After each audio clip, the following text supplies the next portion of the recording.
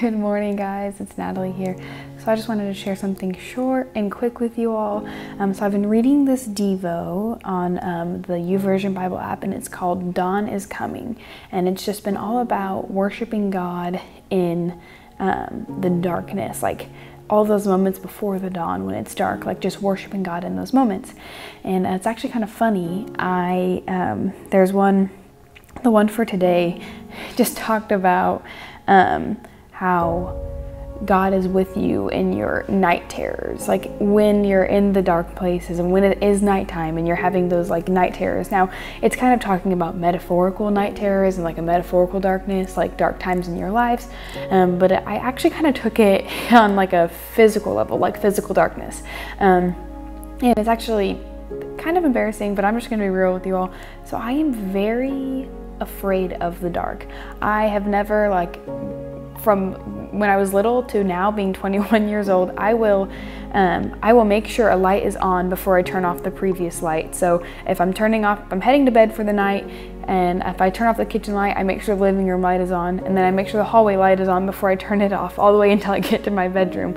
Um, and even like at night, sometimes I hate being the last one to turn off the light because I don't want to that that little bit of time where it's super dark before I you know, when I hit the light switch and head to bed. I don't like, I've never really liked the dark. Um, I think it's just more of like not liking the unknown and not liking what, um, not knowing what is in that darkness, you know. Okay, so I read the Devo for today and uh, I'm gonna read it with you all. It's, oh, it's so good. And so, okay, it says, when we find our hearts fearing the darkness, we've forgotten who is truly seated at the throne the King of glory, the light of the world, the Prince of peace, the Lord of heavenly hosts. Our misplaced fear of the shadows is overcome when we turn from staring at our doomed opponent and face the light, the true dawn. Set your focus on Jesus. Let worship mark your life. Surrender yourself to Him. In the sunshine and in the shadows, face the dawn. You can rest assured He'll sort the rest out. And that just really resonated with me because it says that when we allow our hearts to be overcome by fear, we're not trusting that God is on the throne.